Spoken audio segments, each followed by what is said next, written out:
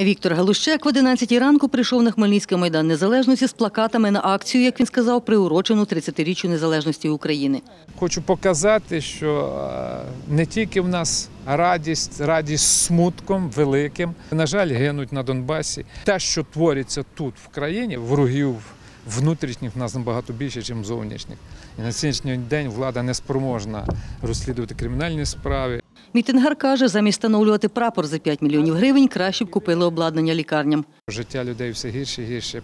Відносяться е, ціни на житлово-комунальні послуги. От я інвалід другої групи, до речі, як прожити інваліду другої групи з е, кучою хвороб на пенсію 1854 гривні.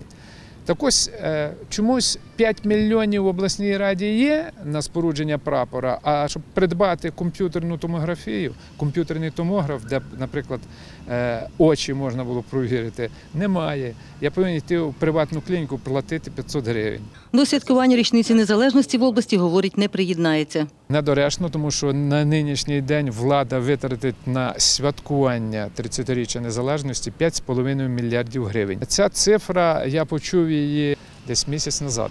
Натомість, каже, поїде до Києва. Приєднаюсь е, до маршу протесту, який буде проводити ветерани, е, учасники бойових дій. Кому висуває свої вимоги сьогодні та чи вважає свій одиночний протест дієвим способом висловлення думки, відповідає.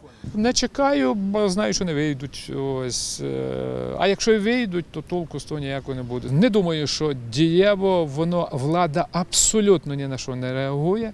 Директорка департаменту інформаційної діяльності облдержадміністрації Інна Михайлова каже, про акцію її організатор повідомив та не вимагав ні з ким зустрічі. Людина має право висловлювати свою думку.